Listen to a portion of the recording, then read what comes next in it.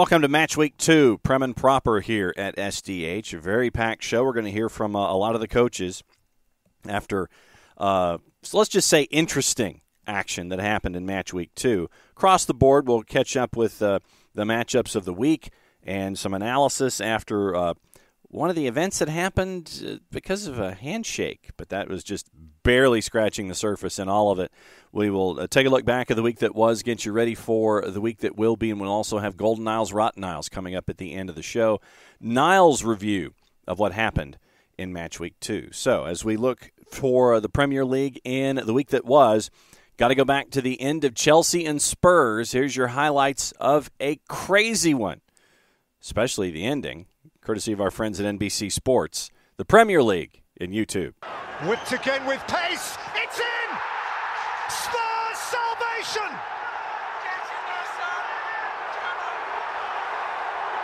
Harry Kane leads the party! And they will escape from the bridge with a point! That is one heap of Tottenham joy!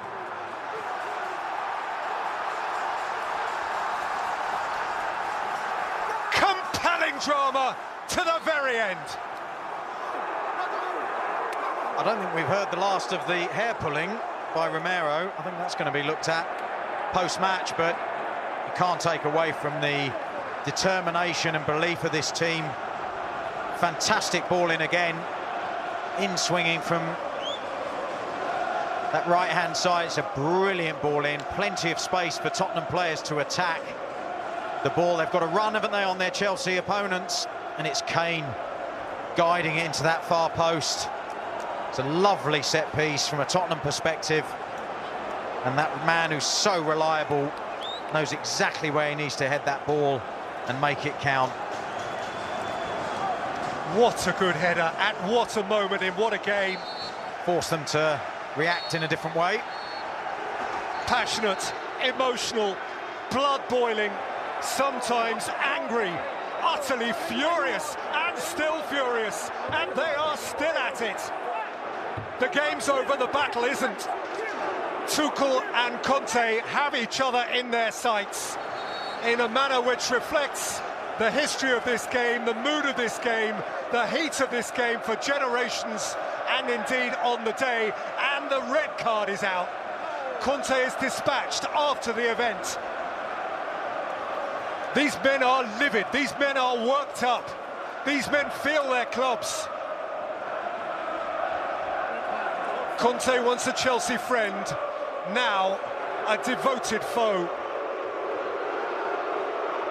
This has been remarkable melodrama, remarkable. Conte finally walks away. Tuchel, grey-faced, until he musters a smile. So after a, a, day to kind of ruminate on things and kind of examine how things have laid themselves out, uh, here's a, a, bit of the the, the uh, discussion from the day after. Robbie Earle, Cara Banks, and Danny Higginbotham at uh, NBC Sports discussing the fallout of uh, the handshake heard around the world. It's one of those. Come over to the monitor and have a look.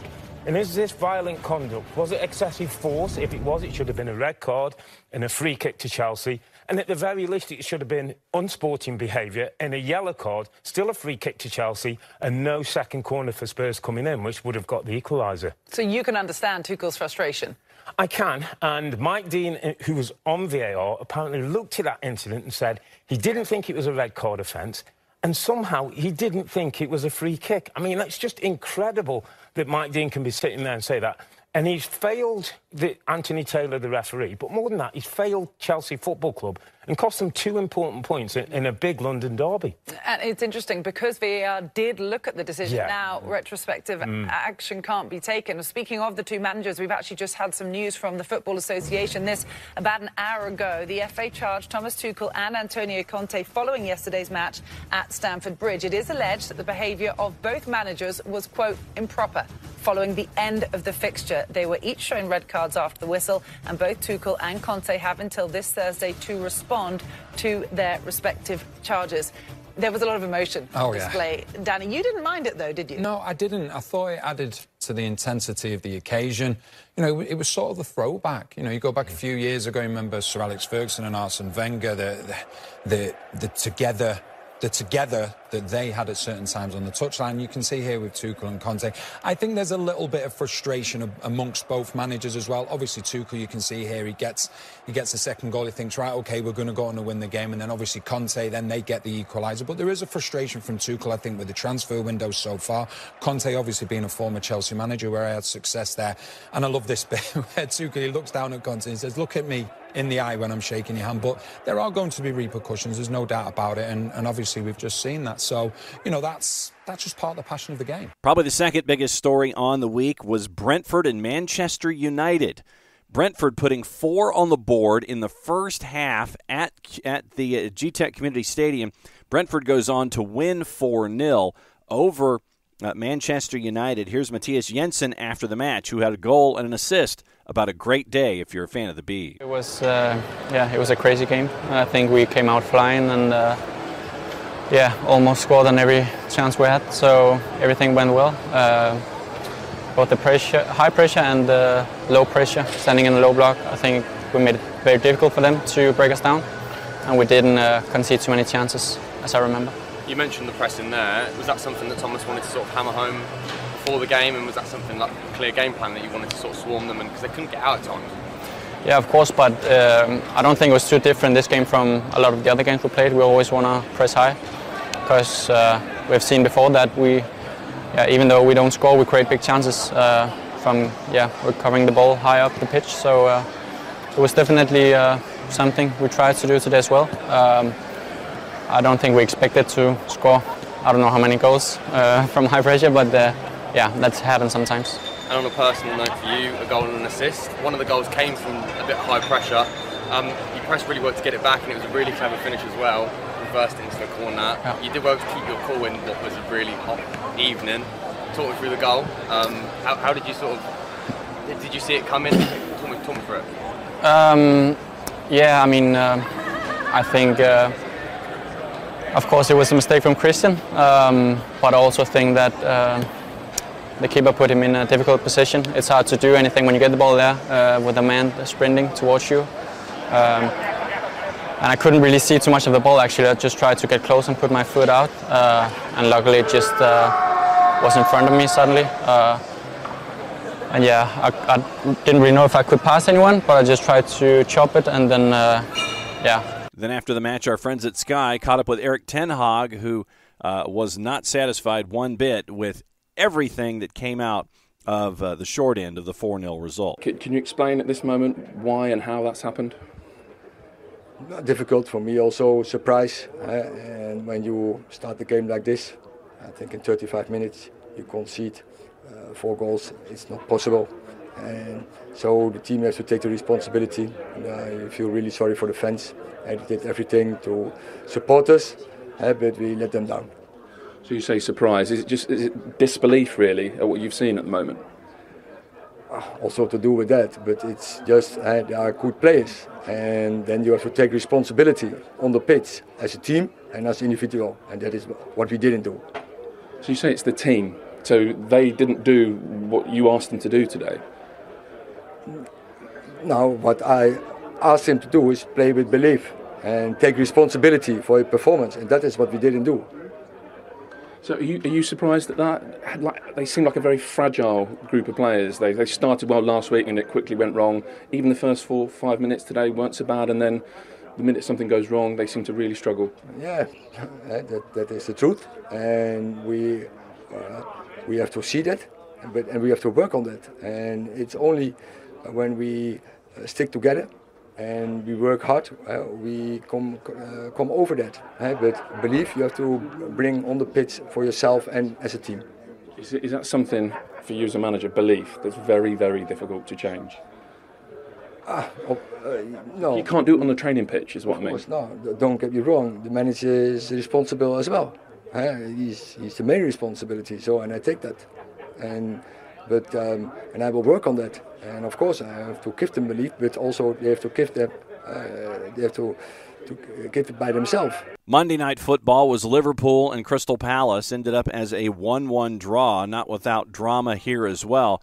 You had a uh, a, a, red card to Darwin Nunez, and uh, we'll have Jurgen Klopp address that in just a little bit. Uh, Crystal Palace had a 1 0 lead at the time. You go down a man. So what happens? Luis Diaz scores 1 1, and it seemed like after that, Liverpool uh, had the better of the action for the final 30 minutes, could not get the one that could put them over the top. So it was a 1 1 draw between uh, Liverpool and Crystal Palace on Monday Night Football. Here's Jurgen Klopp after the match, courtesy of our friends at Sky. Jurgen, a point peace. Give us your thoughts on what you saw tonight really good start in the game, exactly what we wanted. A lot of a lot of football, the kind of football we wanted to play. Uh, a lot of desire. We wanted to put it right. Um, all this kind of thing was all there. Um, unlucky in situations. Um, of course, uh, the, the, the, game plan for Palace was obviously uh, defending deep and then going for counter attacks. We gave him that. Yeah, in the end, two opportunities, but the first one, proper one, when we should have won the ball. Obviously, protection was actually right. We had a two-v-one situation, Trent and Fab there, and then I think um, Essa still gets out there, or whoever it was, and um, that should not happen. And then it's difficult in the last line with the speed of Zaha. Um, yeah, so but second half again started a positive start, um, and then getting the red card. I saw it now back. That's of course a red card. Even when it's provoked all the time, but that's not what he, how he should do it. How he should behave, and um, so. Um, but then four minutes later, I think um, the equalizer, and then massive game from us um, against uh, with ten men, um, putting such an effort. Pitch Stadium was there. Was honestly the, the, the, real feeling I have in the moment is, is I'm proud to be honest because um, everything went during the week against us. It was crazy. It was like a witch was in the building. Everybody told me every time somebody else.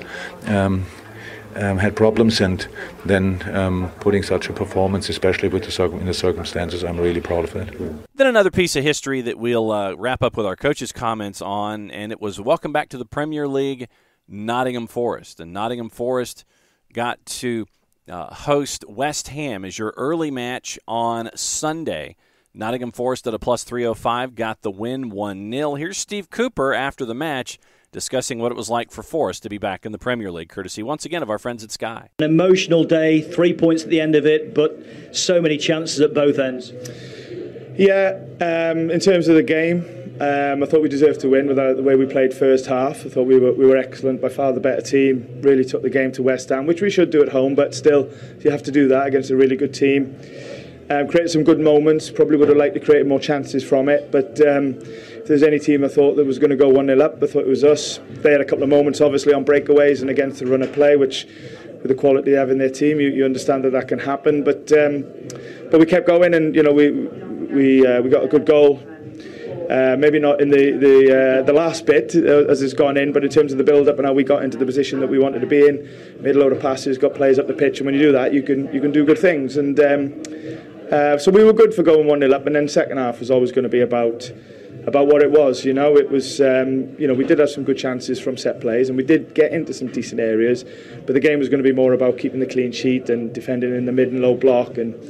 It's so hot, you know. I mean, it was it was such an influence on the game, the heat. I mean, I was lucky I was in the shade, but even just going out now, just guys have played 90 odd minutes or 97 minutes, and that is a real effort. So, so we showed a lot of heart and soul with uh, with that as well, and um, a couple of VAR moments, which is obviously, I think we're, we're, we're, correct. I was disappointed on a disallowed goal that the foul wasn't given in, in real time. It was a, an easy decision to make, but okay. At least VAR did, did a good job on that. And then, um, yeah, loads of good positives. And then obviously outside of the game, the, you know, the first game back in, in here, we've we've reintroduced the club now on the on the Premier League stage, which is a world stage. That's really important. That image of the you know, the Brian Clough stand is is one that a lot of people remember from from the early years in the Premier League. So it's just great to give the fans that moment that they can go, yeah, here we are, you know. So um, so we got to build on on today. We we, we built on last week at Newcastle because you've got to build on the on the difficult days as well, which that was. And um, here we are, you know, one, one two games in, experienced a lot already, and you know we've um, we've uh, you know got a lot to, to look forward to now in the weekend leading up to Everton. Other action on the board, your early match on Saturday, Aston Villa over Everton by the score of 2 1 at a minus 128. Wolves and Fulham a goalless draw. Southampton and Leeds a crazy 2 2 draw. Leeds had a 2 0 lead. Formation change and substitutions by Ralph Hasenhüttl gave uh, two goals on the board for Southampton. So 2 2 draw at Southampton at a plus 257. Manchester City, no problems with Bournemouth by the score of 4 0 at a minus 1250. Brighton and Newcastle, a goalless draw as well at a plus 229. Arsenal all over Leicester by the score of 4 2. Gabriel Jesus' transition seems to be working pretty well. And uh, Arsenal gets a 4 2 win at a minus 175. So the standings, you know, obviously two matches in. You've got variety of points. Uh, Manchester City and Arsenal, both on top at six. Manchester City better on goal difference. Third place, Brentford, with uh, four points and a plus four on goal difference. Then you go Spurs, Newcastle, Leeds, Chelsea, Brighton. That gets you to ninth, and Aston Villa. Villa, Forest, Bournemouth. Uh, that gets you to 12th. Liverpool with two draws at two points, along with Fulham. More goals scored, and uh, three to two by Liverpool over Fulham. Gets you to 14th. Wolves, Leicester, Palace, and Southampton get you to 18th, and the two and the three teams that have lost all three of their uh, two of their matches so far: Everton, West Ham, and Manchester United. Bottom of the table, six goals allowed, one goal scored in their first two matches. So, uh, looking at your uh, juice box numbers as we head into the uh, match week three, it is Saturday and Sunday. Your early match on Saturday morning, Tottenham and Wolves. Spurs are a minus 263. Your draws a plus 417. Wolves are a plus 755. Four matches at 10 o'clock. Palace hosting Villa at Selhurst Park. Palace is a plus 152. Your draws a plus 234. Villa is a plus 195. Interesting one at, at, Everton. Everton and Forest. Forest is north of plus 300 at a plus 311. Everton a minus 105 at home. Your draws a plus 260. Fulham hosting Brentford. Fulham at Craven Cottage a plus 148. Your draws a plus 244. Brentford is a plus 194. Leicester hosting Southampton. And it could be another rough day for Southampton and Ralph Hasenhüttl. They're north of plus 300, almost at a plus 310. Your draw is north of plus 300. Leicester at a minus 118 at King Power. Your late game, your late match on uh, Saturday at 12:30 Eastern Time. Arsenal a minus 227 at the Vitality, uh, going to take on Bournemouth. Bournemouth is a plus 677. Your draw is a plus 374. Sunday, three matches, two at 9 o'clock Eastern Time. Leeds hosting Chelsea. Chelsea's a minus 175. Leeds a plus 474, and your draws a plus 347. West Ham hosting Brighton. Take the under. West Ham at a plus 129. Brighton a plus 221. Your draws a plus 247. Manchester City is a minus 256 at Newcastle at 11:30 Eastern. It is a four, plus 409 on the draw. Newcastle a plus 746 at a home victory. And Monday Night Football, you want to talk interesting? Liverpool, Manchester United. Liverpool a minus 169 at Old Trafford. When was the last time that happened? Maybe last year. Manchester United's a plus 458, and your draw is a plus 344. Now it's time to hear from contributor Nyle for a match week two. Here's your Golden Nyles and your Rotten Nyles, courtesy of Nyle. Hello, SDH fam. This is Nyle Faruqi, and we are back with the Golden Nyles slash Rotten Nyles for the second week of the Premier League. So, as always, we will be looking at the stars, the flubs, the failures, and the surprises. So, let's get started with the stars, shall we? And of course, let's start with Gabriel Jesus. He had two goals and two assists in Arsenal's 4 2 win against Leicester City on Saturday. He was by far the best player for Arsenal on the night. He really showed why, in my opinion, Arsenal went out and signed him for Manchester City. If Jesus keeps performing like this, then he will be a key figure for Arsenal in their top four hopes. I mean, he's just such a talented player. He does not just produce goals for himself, but he also produces goals for others. And then, of course, Kevin De Bruyne, who had a beautiful goal and an assist and Man City's 4 0 win against AFC Bournemouth. No Haaland goal, no problem. He continues to show what a remarkable player he is and how crucial he is to Manchester City's success he always steps up in the big moments, and he's always a player that you can count on. Now, with the flubs, I know these two players will not want to be a part of the flubs list, but too bad. So, we're going to get started with David De Gea. The Manchester United goalkeeper had an atrocious night for United and their 4 0 loss to Brentford with two mistakes. The first mistake was when a shot from Brentford Dasilva in the 10th minute wriggled past the hands of De Gea to give Brentford the lead. And then the second mistake was when De Gea plays the ball to Eriksen with Brentford's Jensen behind them. Jensen is able to retrieve the ball from Eriksen and score. There's no reason why De Gea should be making that pass with pressure on Eriksen. He could have simply just made another pass. And, you know, I think this shows that, you know, David De Gea is on the decline as a goalkeeper. He is no longer one of the world's best goalkeepers, unfortunately. And then, of course, Darwin Nunez, Liverpool's new Uruguayan striker, had the worst Anfield debut possible. He missed two big chances to score and was also sent off in the 57th minute after a headbutt on Joachim Andersen in Liverpool's 1 1 draw against Crystal Palace at Anfield. And this is not ideal for Liverpool as he will now miss their next three games. Now, let's start with the failures. Manchester United, the hope for Manchester United fans was that the Red Devils would bounce back after a disappointing 2 1 loss against Brighton at Old Trafford to start the Ten Hag era, but they didn't. You know, it was always going to be difficult against a team like Brentford, but for Manchester United to lose 4 0 is, you know, simply unacceptable. It seemed as if only one team was up for the challenge, and that team was Brentford. As soon as Brentford scored the first goal after a goalkeeping blunder from David De Gea, Man United just seemed to drop their heads and were able, able to recover from that. It was as if they were just punched in the mouth. And you know, also defensively, Manchester United were terrible, as players such as Lisandro Martinez got bullied because of their height.